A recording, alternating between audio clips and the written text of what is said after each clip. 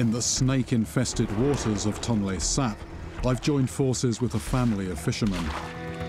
I'm hoping to see a fish that's been busy biting chunks out of people here. But to stop our net from snagging on submerged branches, it's necessary to jump in. And it's become clear that I'm not here just to watch.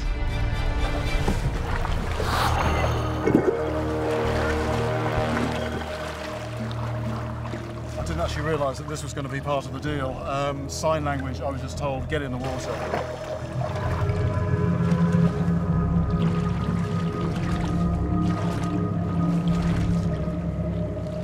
If, as I now suspect, the pufferfish are biting in self-defense, then corralling them in a net is just about the last thing I should be doing.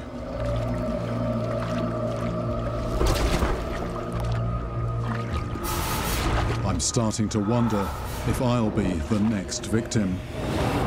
Something just got me, something just got me. I don't know what that was. I think that could have been a catfish spine or something. With the net freed from snags, it's time to haul it in and find out what we've caught.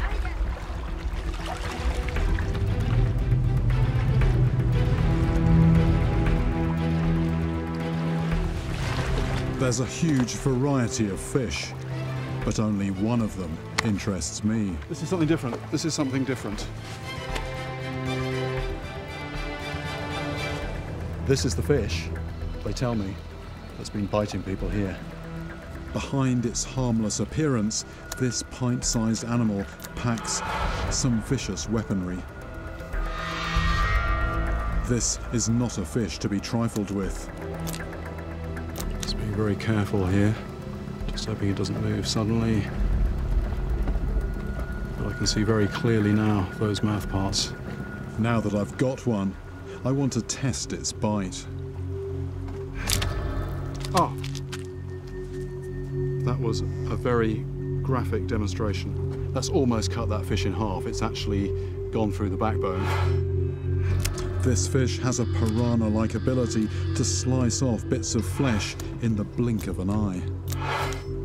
And looking at that, that triangular wound, I'm left in no doubt that if any part of me were to touch those jaws, it would just slice clean through.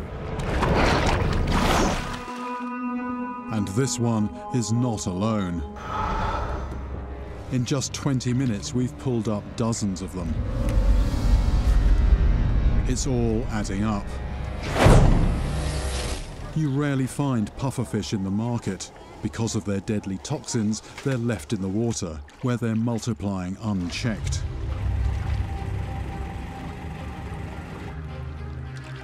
There are now swarms of these potentially dangerous fish, swimming right under people's feet.